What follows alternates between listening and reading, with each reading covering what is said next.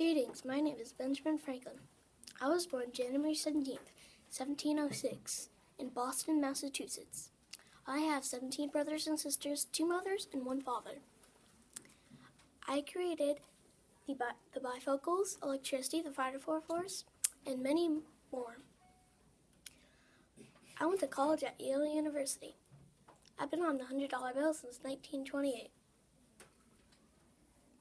I taught myself five totally different languages Latin, German, Spanish, Italian, and French.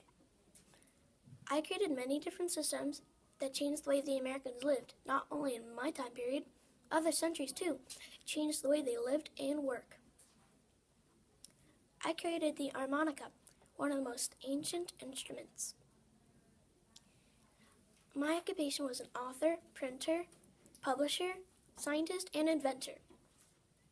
I was a diplomat to France. One of the first, actually. A diplomat is somebody who tries to get friends, so when you're in trouble, they help. I passed on April 17, 1790, in Philadelphia.